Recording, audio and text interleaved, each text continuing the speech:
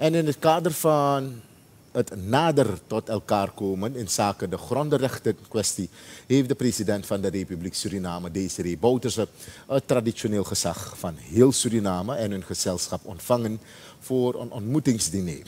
Dit meldt het Nationaal Informatie Instituut NII in een persbericht. Het diner vond gisteravond plaats in het Bamboo Green Garden restaurant.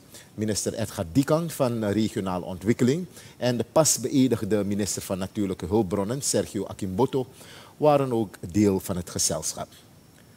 Ik waardeer het dat ondanks wij u zo kort van tevoren hebben uitgenodigd, zoveel van jullie zijn gekomen, al dus het staatshoofd. Het is een avond om in een ontspannen sfeer bij te praten met elkaar, onder het genot van eten en drank, sprak de president. De dignitarissen waren op bezoek in Paramaribo om samen met de, de regering de grondrechtenvraagstukken te bespreken. Het ligt nu in de bedoeling dat de afspraken die tijdens de bijeenkomsten zijn gemaakt verder uit te werken. De groep zal vanaf vandaag bij delen terugkeren naar hun woongebied.